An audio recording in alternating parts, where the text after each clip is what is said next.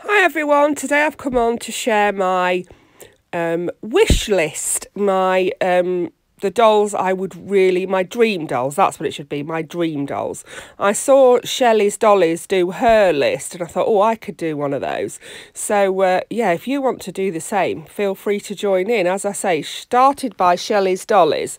So here's my list. This is a silicon doll. I would love an artist done silicon doll that actually looks like the pictures that, that they do of them. There, this one too is a really beautiful, you know, I'd, I'd just like a really beautiful artist silicon doll. Next, there's the three pack of Barbie Mod Friends dolls.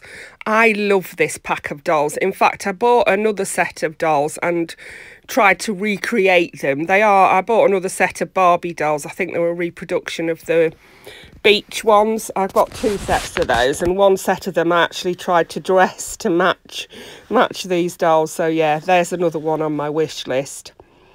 Then there is a Felicia. I would love a Bratz Felicia doll. I've got the Bratz baby Felicia, but I'm not I'm not worried about that. What I really wanted was this holiday doll. But um it's unavailable at the moment, but I, it is on my wish list and I am going to try and get one. And then I don't know why I even want this doll, but I'm obsessed with this 28 inch Amaya Rain, and it's because of Mana at Dolls Rescued. She's got me obsessed with it. I don't know why I want one so badly, but yeah, I would love one of the 28 inch Amaya Rain dolls.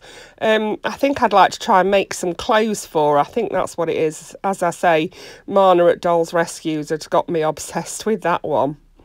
And then the next doll on my list is a Shirley Temple doll. I would love a really nicely done Shirley Temple doll.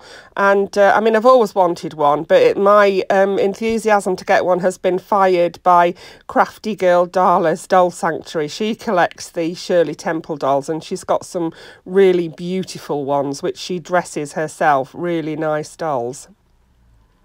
Then there is this doll. She is a reborn vinyl doll. She's the I believe she's the Tootie Sculpt. I think that's who she is. She's so beautiful. I've got a replica of her, I believe, but I haven't actually got this. You know, I'd love an artist done Tootie vinyl doll. She's just beautiful.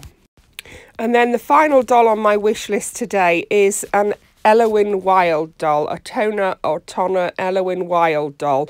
And my enthusiasm for this has been fired by Tammy at Peacecraft Dolls with Tammy Powley. She's got a beautiful collection of dolls and she has some of the Ellowyn Wilde ones. I mean, I wanted an Ellowyn Wilde doll for years, but I've just not seen one in a price that I want to pay. So that is some of the dolls on my wish list, on my dream doll list. Um, I think it does you good to have a dream doll list. It does you good to have a dream and to have things to wish for.